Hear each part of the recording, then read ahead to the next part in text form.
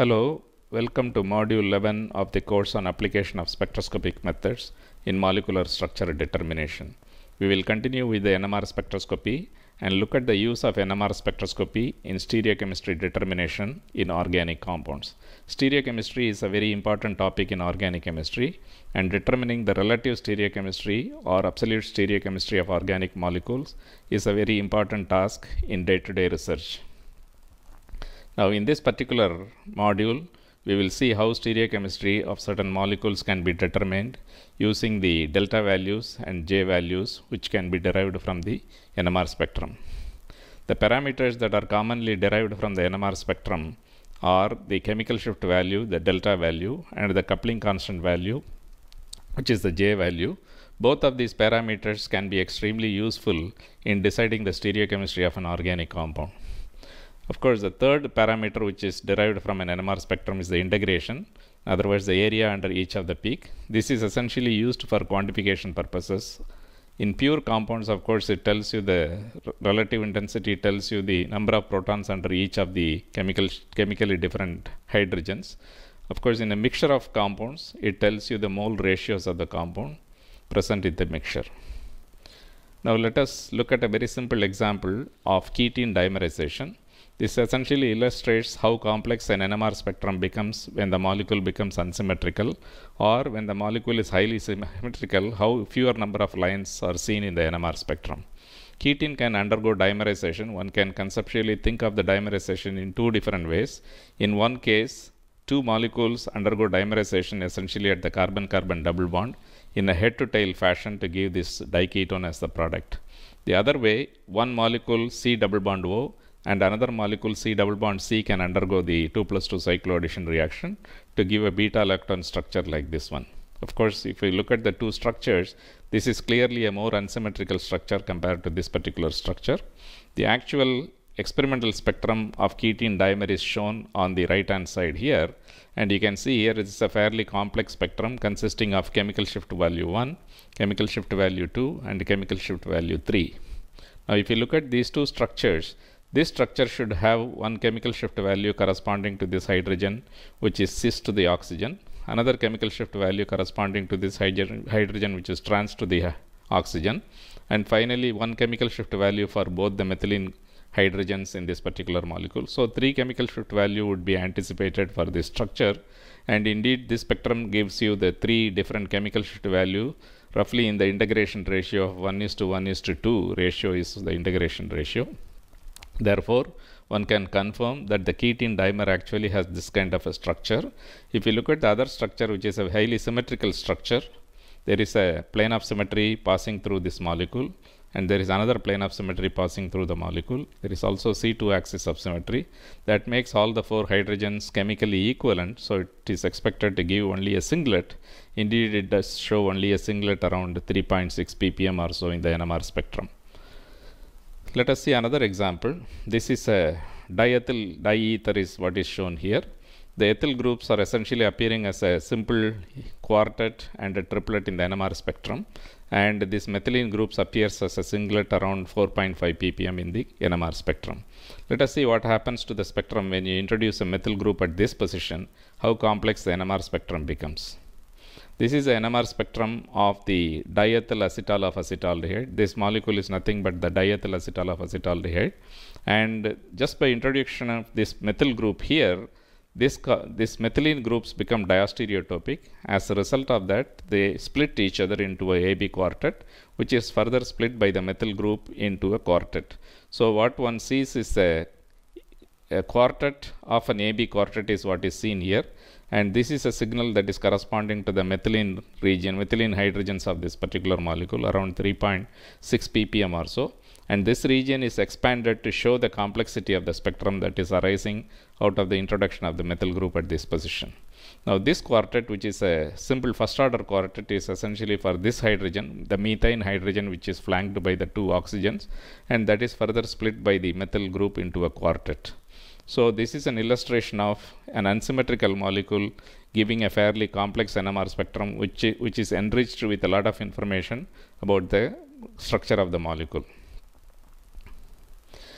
Now we'll take a look at the use of chemical shift value in the determination of stereochemistry with a few examples.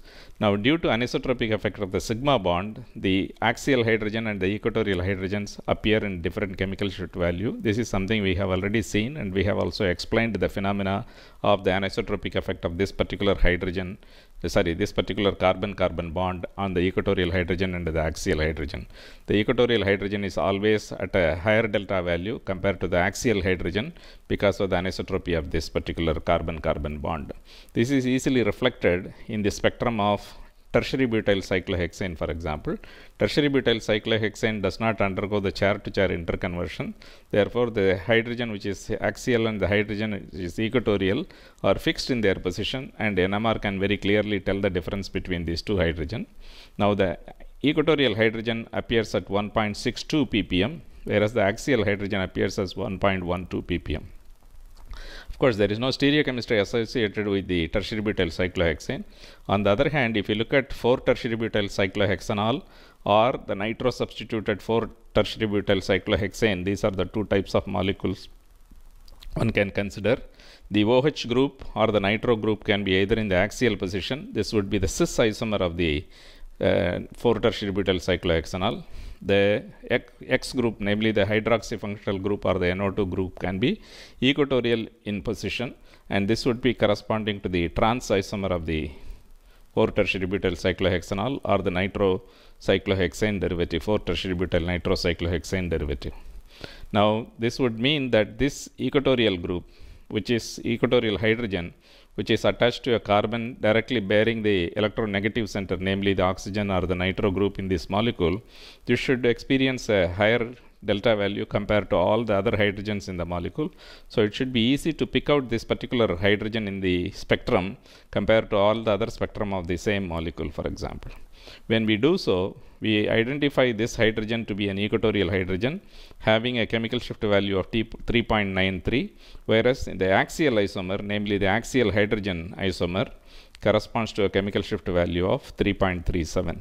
So if whenever one encounters this kind of molecules the one that is showing a higher delta value for this particular hydrogen would correspond to the axial X or the equatorial hydrogen isomer the other isomer, namely the one with the lower delta value, will have the hydrogen in the axial position or the substituent in the equatorial position. This is illustrated by these two examples very clearly showing that the cis configuration, namely the tertiary butyl and X being cis, has a higher delta value whereas the tertiary butyl index being trans with respect to each other has a lower delta value in the NMR spectrum, which is very useful for the identification of the cis-trans isomer. These are essentially diastereoisomers, cis isomer and the trans isomer. They can be easily distinguished purely based on the chemical shift value of the hydrogens, which are distinguished as equatorial or axial in nature. Now, sugar chemistry is rich in stereochemistry and it is important to determine the stereochemistry, absolute stereochemistry as well as the relative stereochemistry of sugar molecules. Let us take the methyl glycoside of uh, glucose for example. This is not glucose, I am sorry. This is galactose. This is a methyl glycoside of galactose is what is shown here in this particular spectrum. And if you look at this particular hydrogen, this is the anomeric hydrogen when the methoxy is in the axial position, the anomeric hydrogen is in the equatorial position. Similarly, when the methoxy is in the equatorial position, the anomeric hydrogen will be in the axial position in the chair form of the cyclo chair form of the six membered ring, which is the sugar ring that is shown here. As a pyranose ring is what is shown here. Now, we can very clearly see that the hydrogen when it is in the equatorial position it is coming at a higher delta value of 5.18 compared to hydrogen which is in the axial position which is coming around 4.69 if you look at the molecule the blue hydrogen is the one that is going to come at the highest chemical shift value and hence we are able to distinguish between the equatorial isomer and the axial isomer very clearly from the chemical shift value of the hydrogen not only from the chemical shift value of the hydrogen, the methoxy group also plays a role in determining the stereochemistry. The axial methoxy group, for example, comes at a lower delta value compared to a equatorial methoxy group around 3.97. Once again, due to the anisotropic effect of this carbon-oxygen bond, which is beta gamma from the position from where the measurements are being made. This is another example again showing that in the carbon spectrum, the axial CH2 and the equatorial CH2 can be distinguished. The axial CH2 carbon comes at a lower delta value compared to the equatorial CH2 carbon, which comes as a low, higher delta value, for example, in the carbon 13 spectrum of the compound, which is this dicarboxylic acid, cyclohexane dicarboxylic acid. Now, anisotropic effect of carbonyl groups can play a very important role in determining the stereochemistry of this kind of exocyclic double bonded compound. This is nothing but an enol ether of the alpha formyl tetralone, which is the molecule here. This hydrogen actually feels the anisotropic effect of this particular carbon oxygen double bond and comes in the de-shielding zone of the anisotropic effect of the carbon oxygen double bond. So, when it is cis with respect to the oxygen of this particular carbonyl functional group, it comes at a higher delta value of 7.85 ppm, whereas when it is trans to the carbonyl functional group, it comes around 6.35 ppm. In other words, this does not have the same facility of feeling the anisotropic effect of the carbonyl functional group when it is trans compared to when it is cis, cis compound. The same effect is seen instead of hydrogen if you have a methyl substituted derivative. This is a uh, for 2-acetyl tetralone enol ether is what is shown in this particular spectrum. The, the not spectrum, sorry, the particular structure corresponds to the enol ether of the 2-acetyl tetralone as a molecule. In this particular case also, this methyl which is cis to the carbonyl functional group comes at a higher delta value compared to the methyl which is trans to the carbonyl functional group which comes at a lower delta value. Now, when the hydrogen is placed exactly on top of a carbon-carbon double bond or an aromatic ring, it gets highly shielded because of the anisotropic effect of the double bond, which is a shielding zone above and below the double bond, and the de-shielding zone on the periphery of the double bond. So, if you look at this uh, bicyclic alcohol two isomers that are shown here, this would be an exoisomer with respect to the double bond and this would be an endoisomer with respect to the double bond. The exoisomer has the hydrogen lying above the carbon-carbon double bond. Therefore, this must be shielded in nature. So, that comes at a lower delta value of 3.53 ppm, whereas the one which is an exo compound, which is the exohydrogen with respect to the double bond, that does not have the facility to feel the anisotropic effect of the carbon-carbon double bond which is further away from the hydrogen. So, this comes at a higher delta value in relation to this one. In all of these cases, it would be nice if both the isomers are available and the stereochemistry can be determined by measuring the spectrum of the two compounds and looking at the chemical shift value of both the isomers. It may not be easy to, if you have only one isomer, to decide on the stereochemistry of that particular isomer purely based on the uh, chemical shift value that we are discussing here. Now let us move on to using J value for the determination of stereochemistry. It is very clear that stereochemical aspects arise because of the orientation of the molecule in certain ways and this orientation is essentially decided by the dihedral angle when you have vicinal hydrogens of this kind. So one can use the vicinal coupling constants as a tool for determining stereochemistry of certain molecules and let us see some examples of this. This curve you are already familiar with. This is called the Karplus-Conroy Conroy curve for the dihedral angle dependence of the vicinal coupling constant which is a 3 bond coupling and the vicinal coupling 3 bond coupling is what is pictorially shown here and this corresponds to the dihedral angle that we are referring to in the figure where dihedral angle is plotted against the J value. Now, if you take a highly symmetrical molecule like this dichloroethylene cis and trans isomer, the dichloroethylene cis and trans isomer or the cis stilbene trans stilbene kind of molecule, these two hydrogens do not couple with each other. As a result of that, we are not able to use the J value to determine the stereochemistry of this class of molecules. Let us have a look at the NMR spectrum of the. Cis stilbene, the olefinic hydrogen comes as a sharp singlet and does not have any kind of a signature of coupling with other hydrogen. Similarly, in the trans isomer also, the trans stilbene come the the olefinic hydrogen come as a singlet in the trans stilbene also. Nevertheless, the cis stilbene and trans stilbene can be distinguished based on the chemical shift value. The cis stilbene has a lower chemical shift value around 6.6 ppm, whereas the trans stilbene has a higher chemical shift value for the olefinic hydrogen which comes around 7.1 ppm or so. It may not be easy to do this with the dichloro derivative which is dichloroethylene for example because dichloroethylene does not have this kind of an anisotropic effect to distinguish those two hydrogens from the cis and trans isomer. Now, if you look at the cis-stilbene oxide as well as the trans-stilbene oxide, again essentially one cannot determine based on the J value because there is no coupling between these two hydrogen because of the symmetrical nature of this molecule. In the cis-trans isomer, the two hydrogens come at 3.9 ppm or so, whereas in the cis isomer here, it comes around 4.2 ppm or so in the NMR spectrum for the two hydrogens, which are the epoxy epoxide ring hydrogen in this molecule. That is why we use the carbon 13 satellite spectrum. This is something we have already discussed earlier, but let me refresh your memory that the carbon 13 satellite spectrum is nothing but a proton spectrum of the compound where the carbon 13 is in its natural abundance. So, since the natural abundance of carbon 13 is 1%, if you take a molecule like dichloroethane, this would be 99% of the molecule that we take, whereas 1% of the molecule will be naturally labeled by a carbon 13 labeling in this position.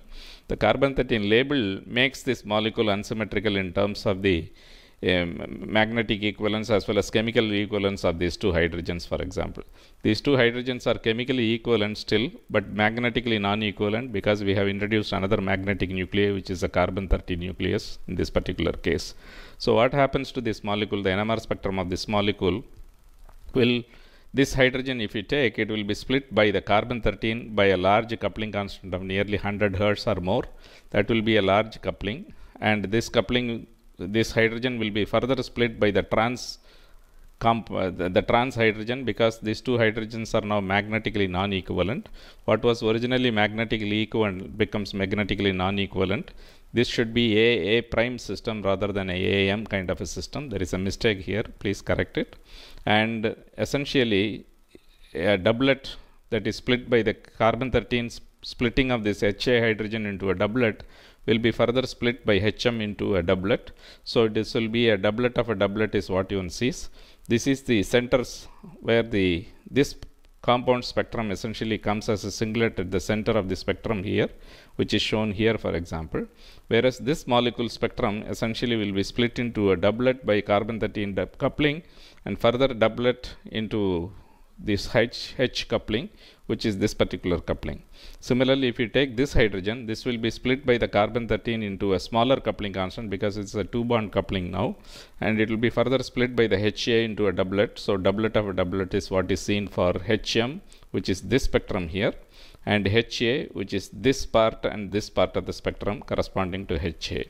So, if you measure the coupling constant between these two lines here that would be essentially JAM. Similarly, if you measure the coupling constant between these two lines here that will also be JAM. The experimental spectrum is shown here nicely.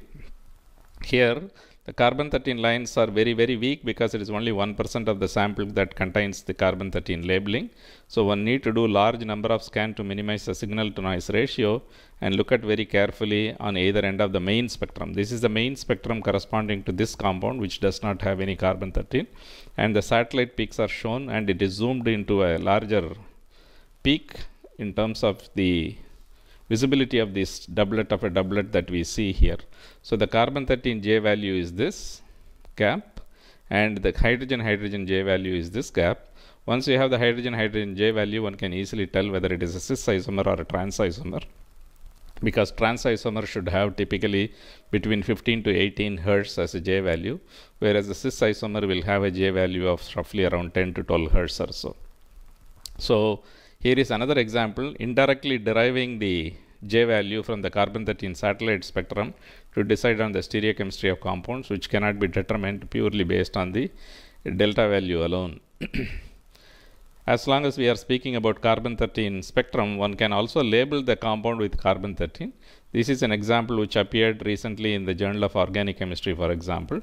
We are looking at only the benzylic hydrogen of styrene this is not ordinary styrene. This is a styrene which is labeled 50% by carbon 13 labeling at this position here. That means you have a 1 is to 1 mixture of carbon 12 and carbon 13 styrene where the labeling is very specific to this particular carbon which is the alpha carbon in this molecule. Now what happens to the hydrogen A is what is shown here. The benzylic hydrogen which is hydrogen A that is the spectrum. This is the spectrum corresponding to the carbon 12 molecule because HA should be split into a doublet by the trans hydrogen and further into a doublet by a cis hydrogen. So what you see for HA is the doublet of a doublet which is the main spectrum as far as this molecule is concerned. The satellite spectrum which is specifically labeled to an extent of 50 percent that is the reason you have very high intensity of the satellite peaks here because this is a labeled compound. So 50 percent of the molecule has this carbon which is carbon 13 that should couple with HA into a doublet. So you see this large coupling which corresponds to the carbon 13 HA. Further down the HA should be split by this hydrogen which is a cis hydrogen and this hydrogen which is a trans hydrogen. So because of carbon 13 it will be a doublet. Because of the trans coupling it will be a doublet of a doublet because of the cis coupling it will be a doublet of a doublet of a doublet. So essentially what you see is a 8 line pattern which is a doublet of a doublet of a doublet for this particular hydrogen in this molecule. This is essentially illustrate the point that one can synthetically make samples with carbon 13 labeling and look at the satellite spectrum in a much more prominent way compared to the natural abundance carbon 13 spectrum.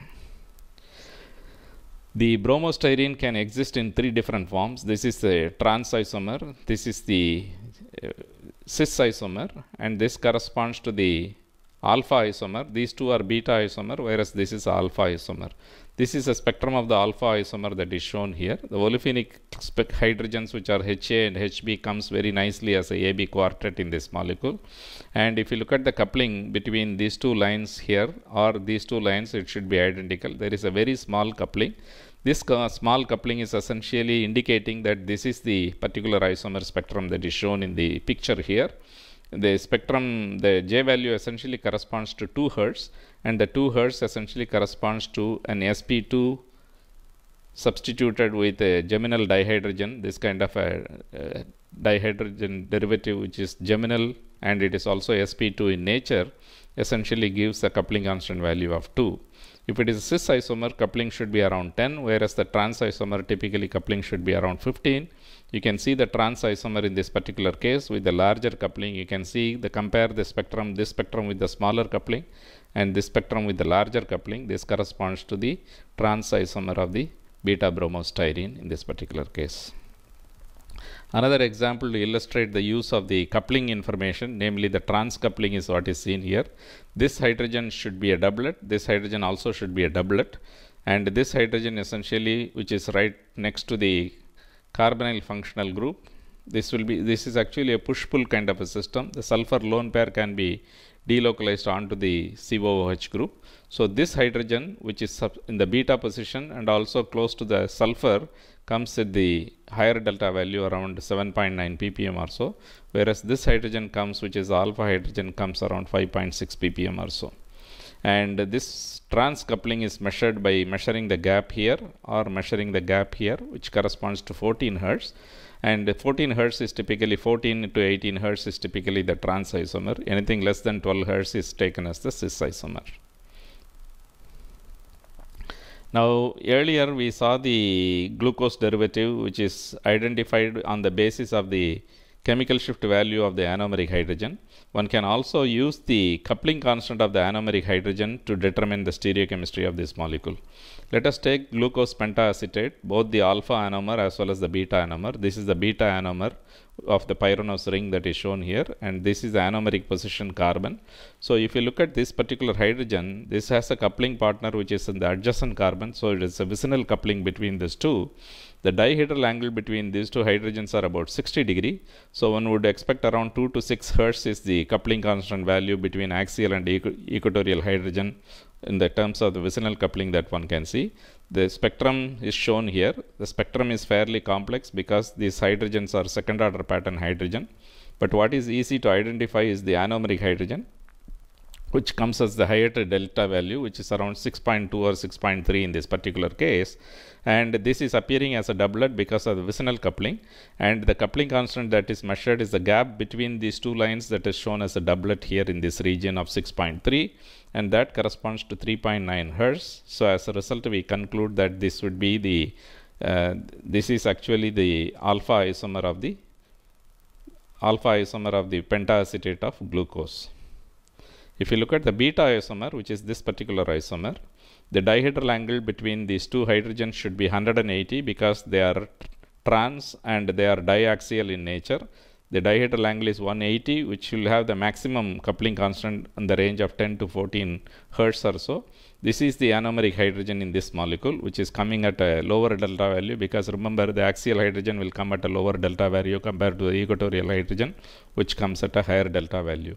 So, in addition to using the uh, delta value, which is high in high for the uh, equatorial hydrogen and low for the axial hydrogen. One can also use the vicinal coupling between the anomeric hydrogen and the adjacent hydrogen if the adjacent hydrogen is present in the molecule. Then also one can derive at the stereochemistry. In this particular case, the gap between these two lines which corresponds to the uh, diaxial coupling corresponds to about 9.2 which is expected in the range of about 10 to 14. 9.2 is close enough. So this is a larger coupling compared to the earlier example of the alpha isomer. So the alpha beta anomers can be easily distinguished based not only on the chemical shift value but on the coupling constant values as well. Some more examples of the cyclohexyl derivative the corresponding earlier we saw the alcohol here we are seeing the acetate but we are looking at the coupling constants here rather than the chemical shift values of these hydrogens. Now we are looking at the coupling between this hydrogen and this hydrogen or this hydrogen and this hydrogen. The axial axial coupling is about 11.4, the axial equatorial coupling is 4.2, whereas in this case for example there is no axial axial coupling, there is only a equatorial equatorial and equatorial axial coupling which are much less than 10 or so. So one can easily distinguish between these two molecules based on the coupling that one sees for this particular hydrogen which will be a doublet of a doublet in this particular case because of these two hydrogens splitting it into a doublet of a doublet. That spectrum is not available, so I am just putting the values that are given in the literature as far as the coupling constants are concerned. So this is another example, a molecule where the stereoisomers, namely the trans isomer and the cis isomer of the 4-tertiary butyl cyclohexanol acetate is distinguished based on the purely on the coupling constant values rather than the chemical shift values. Let us look at an interesting example of cyclization by means of a nucleophilic substitution reaction. This amino alcohol is treated with methyl iodide. Upon treating with methyl iodide, methyl iodide reacts with this tertiary amine and forms a quaternary ammonium salt. So you will have NCH3 3 NCH3 3 times the iodide. The iodide will be the counter ion.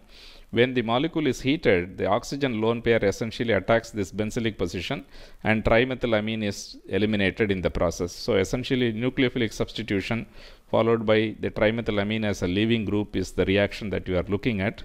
But in order for the oxygen to substitute at this position, this carbon-carbon bond should undergo a rotation and that is why you see the stereochemistry of these two, in this particular case the threo isomer for example, the product you see the two phenyl cis to each other. Whereas if you take the opposite diastereoisomer namely the erythroisomer of the molecule the oxygen when the carbon carbon bond rotates these two phenyl group becomes trans with respect to each other in the product. So if you observe the stereochemistry of the starting point and the end point essentially there is a carbon carbon bond rotation that is taking place this is a freely rotating bond. So the oxygen in order to attack this particular carbon should undergo a carbon-carbon bond rotation and the oxygen should come here in order to attack this particular carbon. So what happens in the stereochemistry of the product that is formed? How do we find out which isomer is formed? This is the cis isomer where the two hydrogens are cis with respect to each other. This is the trans isomer. The two hydrogens are trans with respect to each other. The dihedral angles are clearly very different in these two cases. This will have a larger dihedral angle. As a result of that, it has a larger coupling constant. So one can look at this would be a doublet and this also would be a doublet. This would be a AB system in both cases and the AB system the coupling constant is based on the coupling between these two hydrogen one can easily identify the trans isomer to have the larger coupling constant compared to the cis isomer which has a lower coupling constant. So in the case of aliphatic system where there is a free carbon-carbon bond rotation, this is the example of the erythro and threo isomer of the amino alcohol that is shown here. This particular isomer is the threo isomer and this particular isomer is the erythro isomer of the molecule. In the threo isomer, if you look at, there are three configuration conformations that I have written here. These three conformations, two of the conformations have intramolecular hydrogen bonding facility between the nitrogen and the OH and that will give added stability to that particular conformation. Finally, this is a conformation where the amino group and the OH are anti with respect to each other, so there is no possibility of formation of an intramolecular hydrogen bonding facility in this particular case. If you look at this particular conformation, here the bulky groups are farther away from each other. This is the best possible configuration that one can have including the stabilization because of the hydrogen intramolecular hydrogen bonding. And if you look at the dihedral angle between these two hydrogens, this is anti, this 180 with respect to the two hydrogens being anti to each other. So as a result, one would expect a large coupling constant if this were to be the most populated state among the three conformers that you have shown here. Clearly, this particular conformer will be the least stable conformer because all the bulky groups are right next to each other. Gaussian interactions are very severe in here and this is relatively also speaking uh, a easy uh, unstable isomer. Nevertheless it has a contribution from the uh, intramolecular hydrogen bonding. So among the three this is expected to be the most stable. Indeed if this were to be the most stable this vicinal coupling should be a large coupling. The experimentally observed coupling is about 10.5 hertz and this is anti-coupling, expected coupling theoretically based on the Karplus-Conroy equation, it is about 11 hertz or so. And this is being close to the experimentally observed at 10.5. One, one concludes that this isomer is, this conformer is a major conformer in the mixture of conformers that you can have in the solution phase. It is estimated to be about 90% populated compared to the other two isomers which are about less, less than 10% populated. But when you come to the erythro isomer of the molecule, the possibility of having all the three equally populated exist in this particular case because of the intramolecular hydrogen bonding, intramolecular hydrogen bonding in these two systems. And if you look at this one, this is the anti-conformer. The anti-conformer essentially has no, derives no stabilization from whatsoever from the intramolecular hydrogen bonding just as in the case of this. So one can expect these three, which are relatively speaking less stable compared to these three, to be equally populated in this particular case of erythroisomer. The experimentally observed J value between these two hydrogen vicinal hydrogen is about 4.4.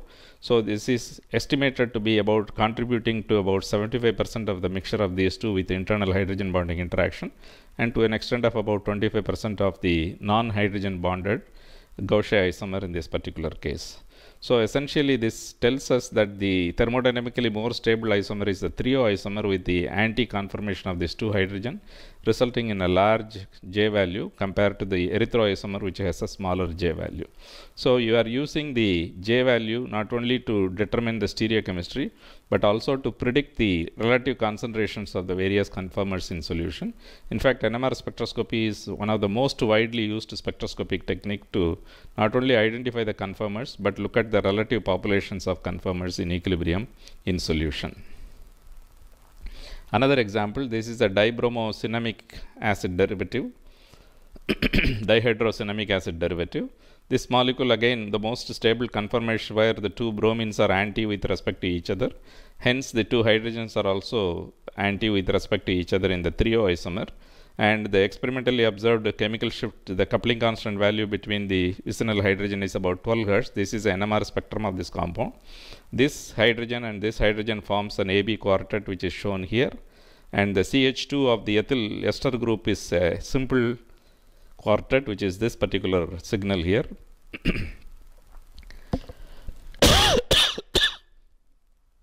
so essentially from the coupling information you come to the conclusion that this is the most predominant isomer in the solution of the three conformers that are written in this particular molecule. So what we have seen here is a few examples of identifying stereochemistry, particularly cis-trans isomer stereochemistry or diastereomeric isomers stereochemistry or conformational isomers using NMR spectroscopic technique and we have used in some cases the delta value or the chemical shift value to distinguish the stereoisomers. Some other cases few examples are also shown where J values, namely the coupling, vicinal coupling information is used as the tool for identifying the relative stereochemistry of organic molecules. These are some reference textbook that I have used to collect information for this particular lecture. If you want to refresh your memory on the stereochemistry of organic compounds, I recommend that you read the book by Nasipuri. That is an excellent source of information as far as organic stereochemistry is concerned. Finally, these are again two more books that are available readily for uh, reference in terms of looking at some NMR spectra and looking at stereochemical aspects of NMR spectra. Finally, I would conclude the lecture by thanking all of you for your kind attention. Thank you very much.